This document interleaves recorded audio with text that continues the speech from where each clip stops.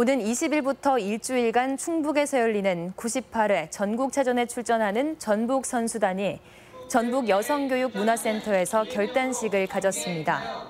전북은 이번 체전 46개 종목에 임원 400명을 포함한 1,600여 명의 선수단을 출전시키며 17개 시도 가운데 9위 달성을 목표로 하고 있습니다.